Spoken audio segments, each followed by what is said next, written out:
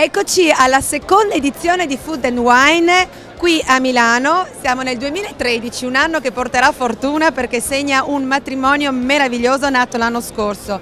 Naturalmente c'è un ideatore, un ideatore che ha una lunga storia nel mondo della selezione dei vini, il signor Helmut Köcher che già famoso per il Merano Wine Festival ora partecipa a questa manifestazione portando una grande novità perché lui le selezioni dei vini li fa in maniera molto personale. Anzi vorrei chiedere a Helmut quante cantine sono presenti, quanti vini e soprattutto quali caratteristiche devono avere questi prodotti per arrivare in questa salotto dell'alto vino.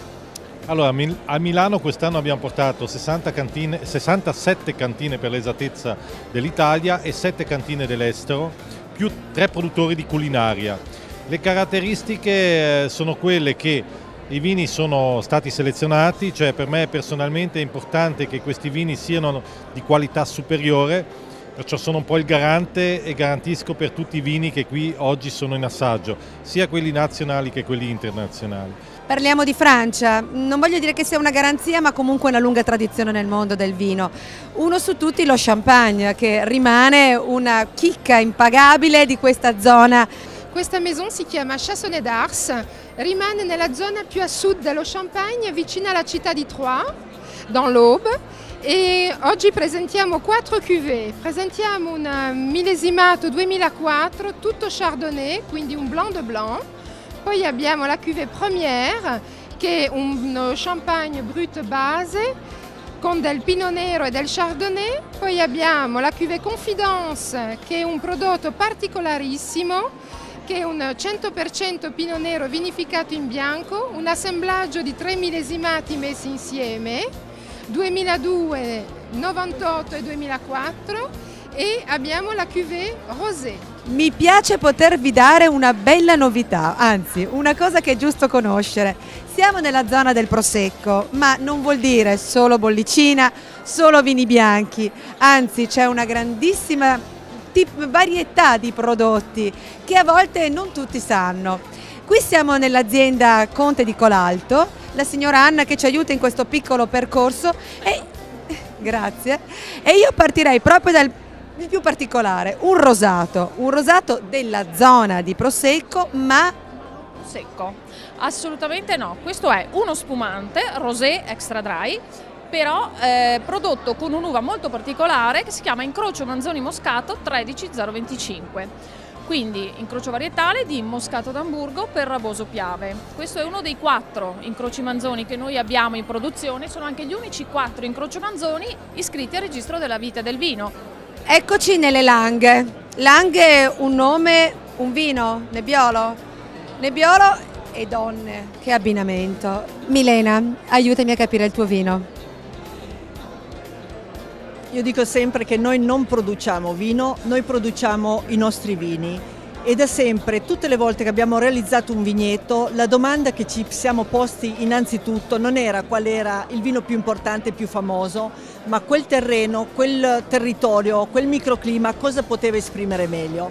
Noi siamo a Barolo, quindi potremmo anche solo produrre Barolo. Abbiamo fatto un'altra scelta, amiamo tutti i vini delle Langhe, addirittura con le UE dei giovani vigneti del Barolo noi preferiamo produrre un Langhe Nemiolo. In questo splendido contesto di Milano Merano Wine and Food eh, vogliamo raccontarvi anche un vino che sicuramente non rientra in quella fascia modaiola e quindi sono quelli che piacciono a noi. E quindi ecco il perché in, eh, in questo contesto voglio raccontarvi un vino che forse ai più sarà anche sconosciuto, ma il Rouquet. Raccontaci soltanto una cosa del Rouquet brevemente piccolissima di OCG del Piemonte, un vitigno autoctono che oggigiorno è sempre più interessante perché va a prendere tutta quella fascia giovanile che vogliono l'esaltazione dei grandi frutti di, dei vini. Sarà che mi chiamo Rosita, ma io per i rosati ho un particolare amore. E qui siamo in una zona marchigiana con un vino che adesso il signor Costantino ci racconterà. Signor Costantino, vicepresidente della tenuta Colli di Serra Petrosa, con questo vino che ha un colore molto rosita, eh, volevo dire rosato. La prego di darci un racconto e soprattutto di spiegarmi in quale zona vi trovate. Allora, eh, il vitigno, il vitigno della Vernaccia Nera di Serra Petrona si trova a Serra Petrona. E, Ha detto Vernaccia Nera. e Serra Petrona è un paesino all'interno del- delle Marche, nella provincia di Macerata, e ai piedi dell'Appennino a un'altezza circa di 500 metri sul livello del mare. Eh, qui si coltiva, è l'unico territorio dove si coltiva la Vernaccia Nera di Serra Petrona. È un vitigno autoctono eh, che nasce soltanto lì e è lì eh, che verrà prodotto. Questo è un, eh, è un vino che praticamente ha una macerazione in, in bianco, è una vinificazione in bianco. Le bucce eh, credo che vengano tenute soltanto 4 ore in, eh, eh, a contatto con il mosto e poi vengono portate. Quattro ore per regalare un colore meraviglioso e meravigliosa sarà anche la degustazione che facciamo adesso perché ho il piacere di presentarvi un grandissimo chef marchigiano, amicissimo di tutti gli amici delle Marche e grande amico mio, posso dire. Presentati da solo. Ciao Rosita, sono Lucio, Simposium Cartoceto. Un grande cacciatore, oltre che di cartoceto, ma abbiamo anche altri due amici con, cui condividere questo grande vino. Lei mi stia vicino perché senza di lei non è possibile. Alfonso Caputo della Taverna del Capitano di Massa Lubrense. Un saluto a tutti. e grande amico con cui possiamo berci un bel bicchiere. Però attenzione, abbiamo anche un ospite che arriva diretto diretto da New York, ma è uno chef nostro. Sì, Massimo Emiliozzi dalle Marche, e fa parte dei cuochi di Marche, nonché amico del cacciatore Lucio. Però lavori a New York? Sì, si lavora a New York. Bella mela, eh? Cin.